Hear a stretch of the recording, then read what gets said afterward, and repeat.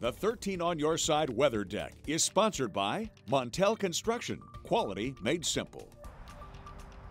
Meteorologist Laura Hartman out on the weather deck, and it is starting to feel like fall. There's no question there's a change in that air, Laura. Oh, there definitely is. And Nick, if you enjoyed today, make sure you enjoy these temperatures for the little bit that we have them because tomorrow, big changes coming up. We're going to see even cooler temperatures coming Tuesday along with some soaking rains.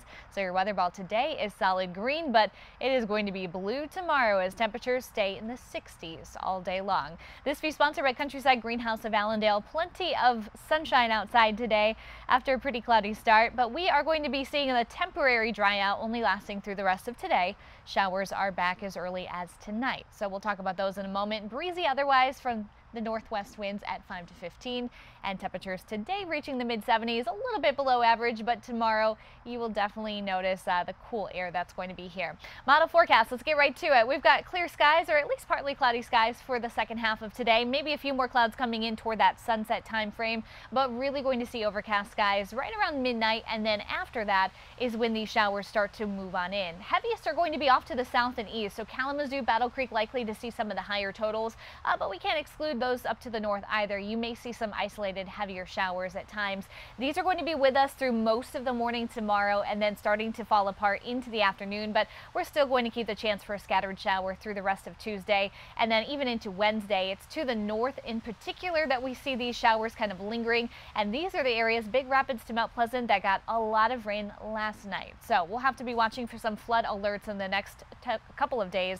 As for rainfall amounts, well, these are going to vary just depending on where these heavy showers do set up. But right now, looking at Kalamazoo into Battle Creek, Hastings too, possibly getting some of the heaviest amounts by tomorrow morning. This is 8 a.m. But even Grand Rapids, Ionia measuring over an inch at that point. So we could certainly see a lot of heavy rain. And we'll keep adding to that up to the north. You'll see the lesser amounts through Tuesday morning, but then adding more into Wednesday morning. So everybody going to see plenty of rain in the next 48 hours we could have some that have up to two inches possible. So we've got a soaking couple of days coming up. And then look at these temperatures. Tonight we fall into the 50s. Winds start picking back up too, this time from the northeast.